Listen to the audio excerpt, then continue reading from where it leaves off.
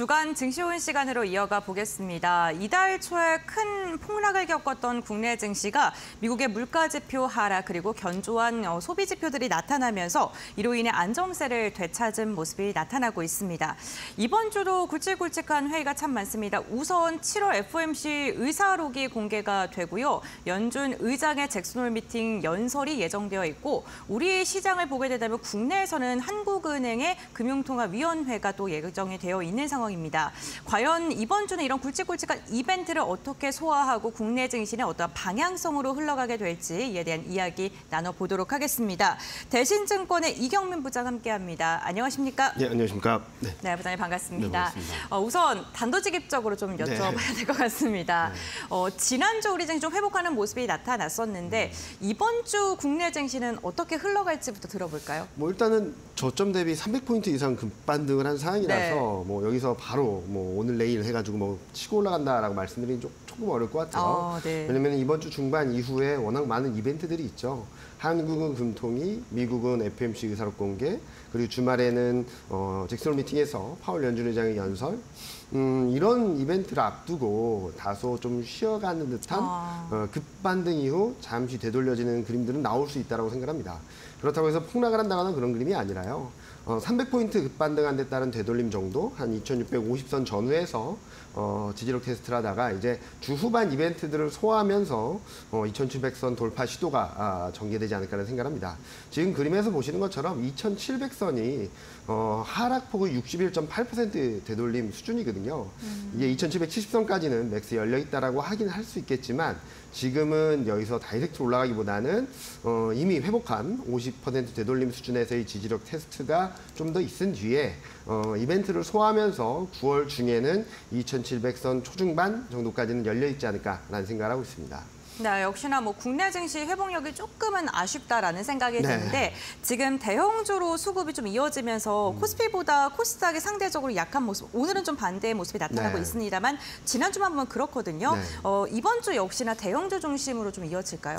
뭐 일단은 코스피가 좀 쉬어갈 때는 네. 코스닥이 조금 더 상대적으로 맞습니다. 네. 움직일 수 있겠죠. 그렇지만 지금 흐름들을 보면은 어, 상대적으로 저평가된 음. 업종들, 낙폭과대 종목들을 좀 움직이는 모습들이 대형주 위주로 들어오고 있고요. 특히 최근 시장을 흐름을 좌지우지하는 것은 외국인 네. 매매입니다. 외국인이 아. 많이 사는 것은 보통 대형주가 반도체예요. 많겠죠. 네. 그리고 어, 지난주 네. 한주 동안만 본다면 뭐 가- 반도체가 시장을 다 이끌었다라고 네. 해도 과언이 아니거든요.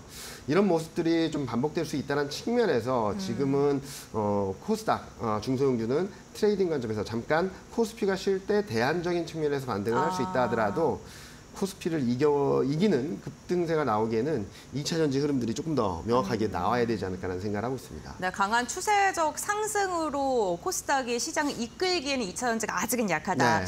그렇다면 부장님께서 지금 우리 시장에서 주목하고 있는 업종이나 섹터군들이 있다면 어떤 게 있는지도 궁금합니다. 어떤 섹터 보세요? 어, 일단은 앞서 말씀드렸던 반도체. 실적 대비 저평가 네. 아, 돼 있고 그리고 단기적으로 낙폭이 큰 업종들을 보면 은 대표적으로 반도체, 자동차, 기계 그리고 어. 인터넷, 2차 전지가 좀 포진해 있습니다. 네. 물론 이 중에서 반도체, 자동차, 기계는 실적 전망치까지도 또 상향 조정되고 있거든요. 맞습니다. 음. 그래서 굉장히 강한 모습들을 보여주고 있고 반등 시 그 시장의 중심을 자리 잡고 있는데 아직까지 힘을 내지 못하는 건 2차 전지랑 인터넷이랑 볼 수 있겠죠. 뭐 대표적인 성장주라고는 할 수 있겠지만 실적에 대한 부분들이 좀 아직까지 퀘스천 마크가 남아 있다 보니까 음. 탄력적으로 움직이지 못함에 따라서 아직까지는 좀 눌려 있다라고 볼 수 있겠습니다.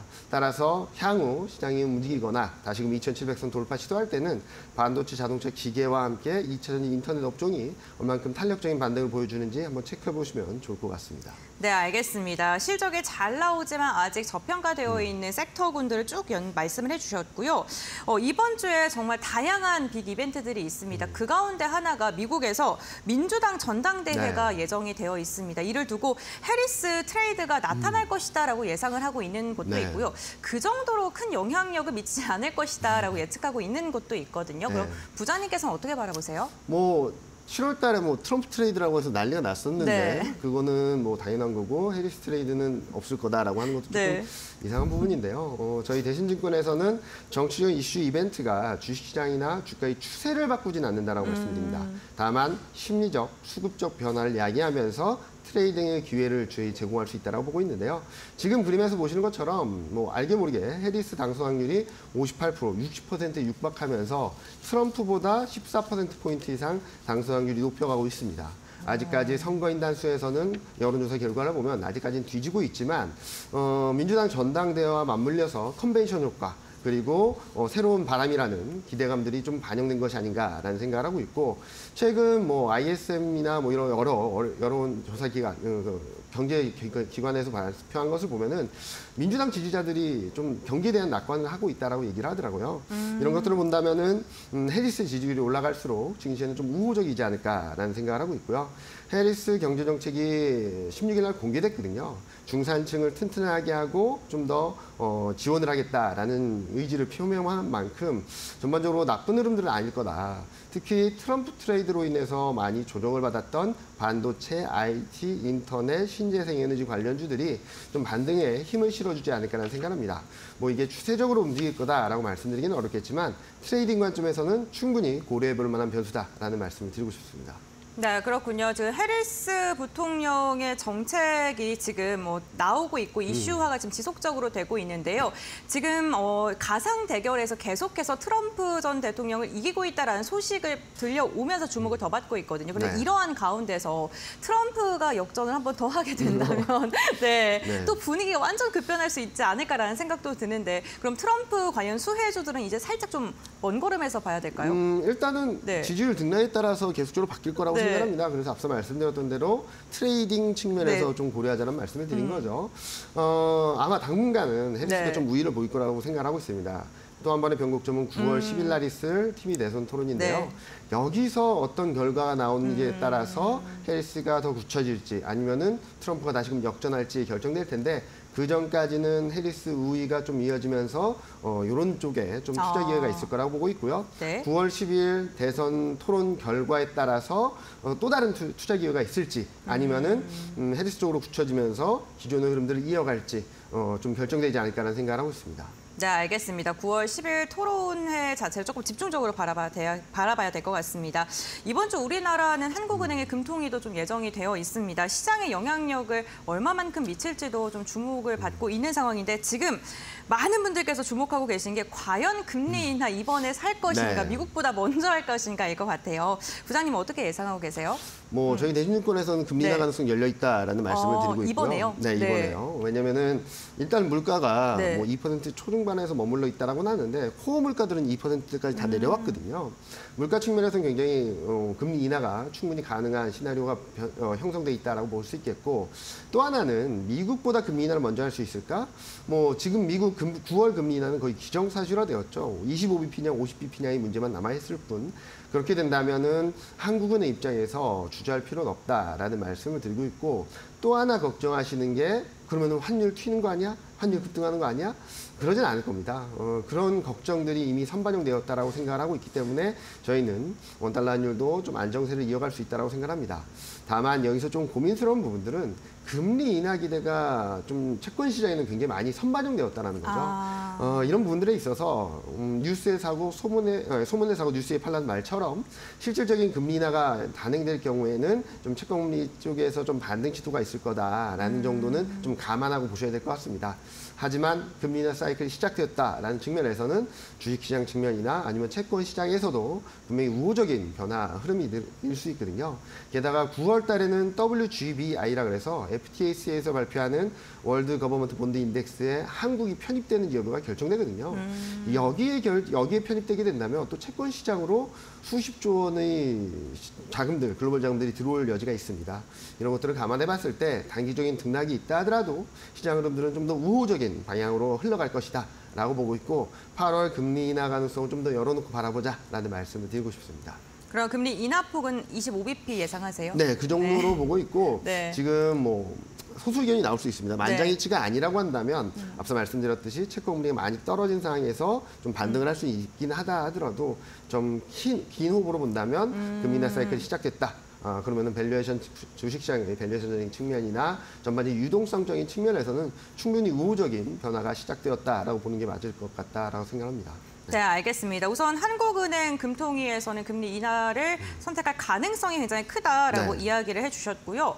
어, 미국 역시나 금리 인하에 대한 폭의 이야기도 나오고 있고 과연 올해 몇 번 인하할 것인가에 대한 어, 그러한 기대감도 점점 커지고 있는 상황입니다. 우선 미국의 7월 FOMC 의사록 회의가 이번 주 공개될 예정이고요. 잭슨홀 미팅에서 어, 파월 연준 의장의 네. 발언도 예상이 되어 있는 상황입니다. 우선 9월 FOMC 회의 전에 마지막 공개적인 발언이 가능성이 크기 때문에 어, 9월 금리 인하에 대한 힌트를 많이 얻을 수 있을 것이다라는 기대감이 커지고 있는 상황입니다. 그렇다면 우리가 그 파월 연준 의장의 연설 중에 어떠한 부분을 좀 집중해서 봐야 되는지 이 부분도 궁금해요.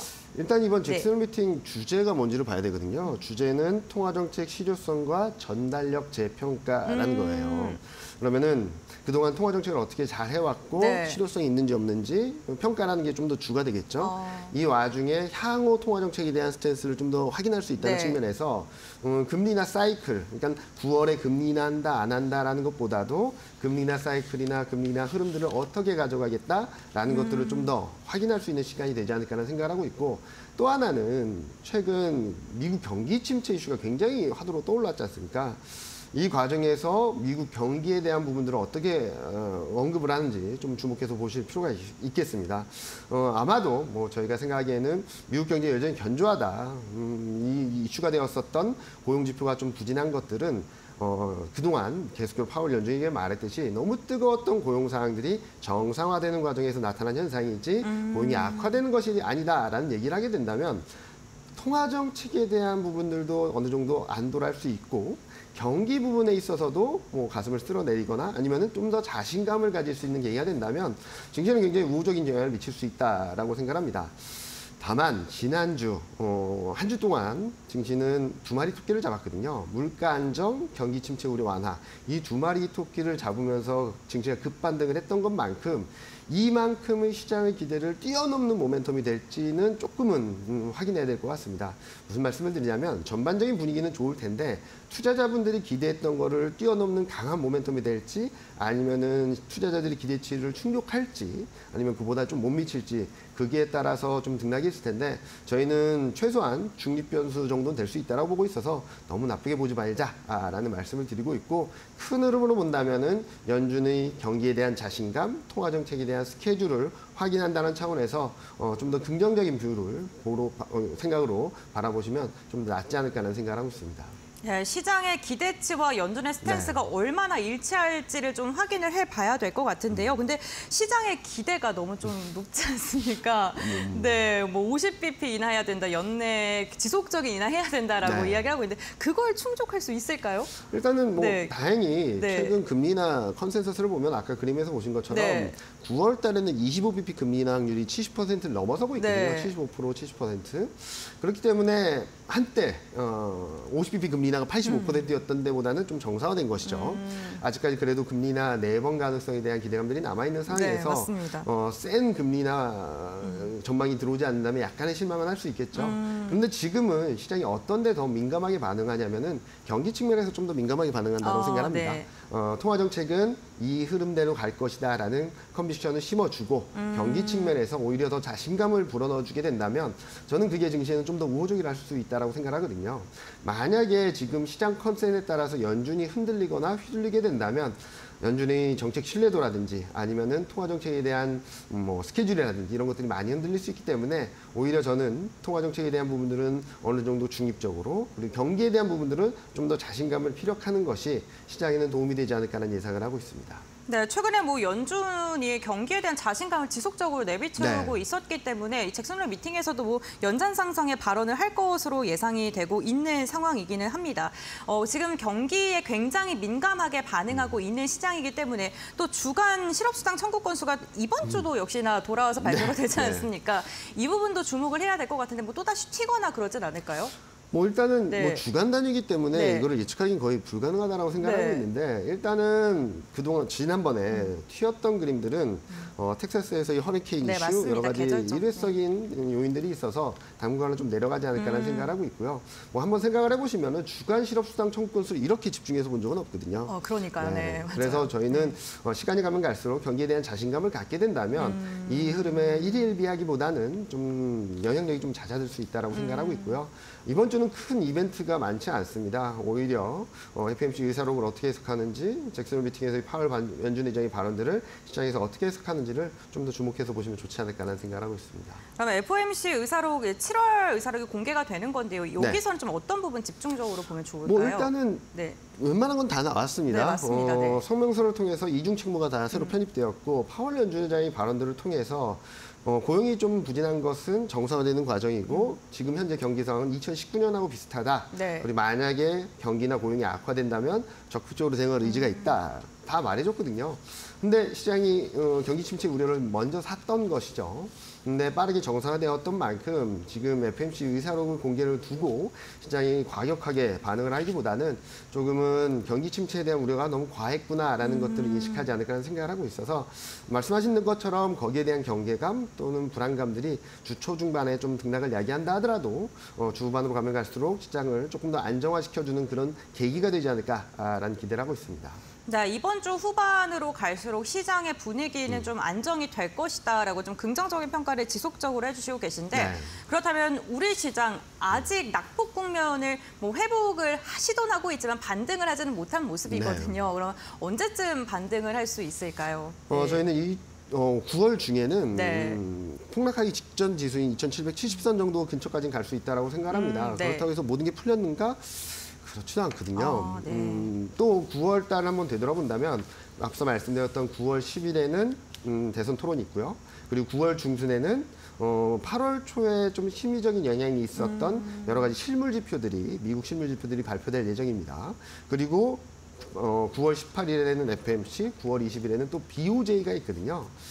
어, 9월 중순부터 9월 말까지 워낙 많은 이벤트들이 예정돼 있고 이 과정에서 또 한 번 경기가 조금 삐끗한다든지 경제 지표들이 또는 FMC에서 금리 인하 그리고 BOJ 스탠스 확인 과정에서 어, 엔달러 환율이 또 내려간다든지 하는 흐름이 나오면은 또 한번 출렁일 수 있거든요. 따라서 저희가 추천드리는 것은 3분기는 당분간 변동성 장세다. 좀 등락이 있다 하더라도 더 올라간다고 하더라도 2,800을 넘긴 좀 어렵다라고 생각하고 있고 내려간다고 한다면은 좀 비중 확대할 기회다라는 아. 말씀을 드리고 있습니다. 따라서 코스피가 2,700선 중후반대로 가게 된다면 좀 현금 비중을 좀 늘리셨다가 어, 9월 중후반, 어, 9월 FMC 18일, BOJ 20일 이 통화정책 회의까지 확인한 뒤에 향후 흐름들을 좀 대응을 하신다면 어, 조금 더 좋은 기회가 도래하지 않을까라는 생각을 합니다. 즉 지금 당장 못 간다고 해서 답답하실 수도 있겠지만 그리고 또 등락이 있다고 해서 좀 불안해질 수도 있겠지만 또 한 번의 매수 기회가 올 수 있다는 측면에서 어, 반등하는 국면을 조금 더 잘 활용하시면 좋겠다라는 말씀을 드리고 싶습니다. 네, 그렇군요. 이 BOJ 은행을 얘기해 주시니까요. 네. 일본 엔캐리는 그럼 이제는 좀 다 완화된 거다 이렇게 해석해도 될까요? 음, 엔캐리 충격이나 파급력은 정점을 통과했다라고 생각하고 네. 있습니다. 어, 지난주를 기준으로 본다면은 어, 엔화에 대한 순 매도 포지션이 네. 지금 순매수 포지션으로 전환됐거든요. 어. 18만 7천 계약이었던 게 6주 만에 1만 천 계약, 5, 2만 계약 이상 어, 순매수 전환돼서 어, 충격은 좀 제한적일 텐데 일단은 음, BOJ FMC가 있는 9월 중후반 때는 또 한번 교란 요인이 될 수 있다 정도로 아. 생각하고 있거든요. 음, 지난번처럼 충격 파장은 되지는 않겠지만 단기적으로 좀 수급을 조금 교란시킬 수 있다는 측면에서 경계감은 좀 가질 필요가 있다라는 말씀을 드리고 싶습니다.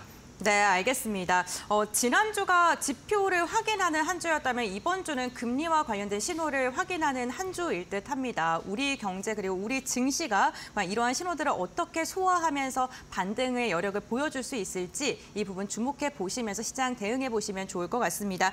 전반적으로 주 초에는 좀 경계감이 있다가 주 후반 갈수록 긍정적인 평가해 주셨으니까요. 이 부분도 참고해 주시면 좋을 것 같습니다. 부장님과 여기서 마무리하겠습니다. 고맙습니다. 네, 감사합니다.